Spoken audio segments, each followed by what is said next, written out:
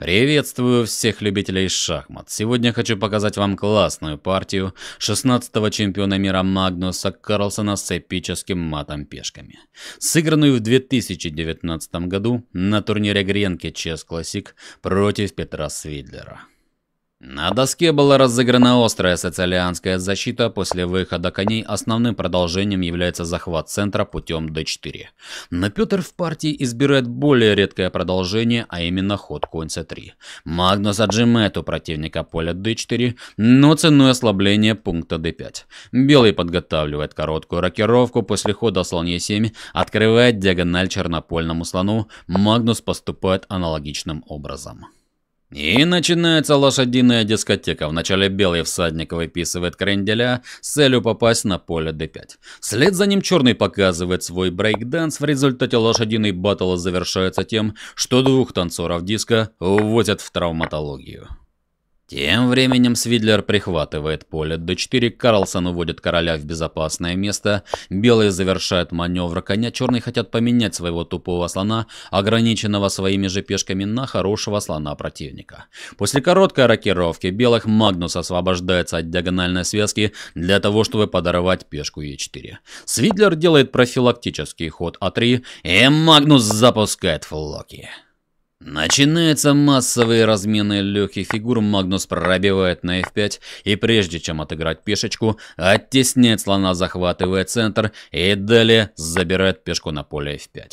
Свидлер бросается ферзем в атаку, ладья уходит на поле f6, и белым стоило пойти ладья e1 для того, чтобы оказывать давление на центр, в частности на пешку e5, с примерно равной игрой.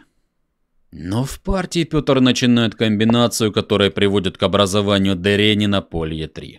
Магнус пробивает на F4 и выясняется, что сразу брать ладьей плохо из-за коневой вилки. Черный нападает на ферзя и на пешку D3. После отступления меняет ладьи, проводит двойной удар и выигрывает качество. Так что в нашем поединке Свидлер пошел ферзь g5, нападая на пешку d5.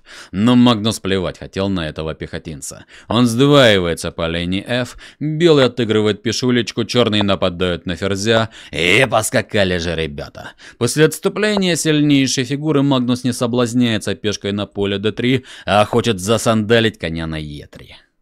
Ну что ж, белые централизуют ладью. Норвежец играет конь Е3, после отступления создает еще одно нападение на ферзя. Белые таки жирают пешку на поле b7, но теперь из-за широкой спины могучего кентавра начинают выбегать юные викинги с топорами. Вероятно, белым стоило призвать ферзя в оборону, в случае хода g4 пойти ферзь 2 ну и дальше молиться старым и новым богам.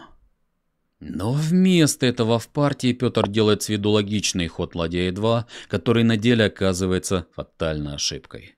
Магнус продвигает пешку вперед с идеей пойти g3 и в случае вскрытия линии f влепить матец на поле f1.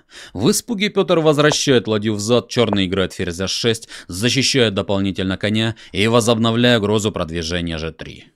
Свидлер якобы препятствует этому продвижению, но после хода ладья f8 защиты от хода g3 уже не видно. Например, на ферзь 5 связывая ладью, последует тычок g3, в случае взятия черный дает коневую вилку и белым крышка.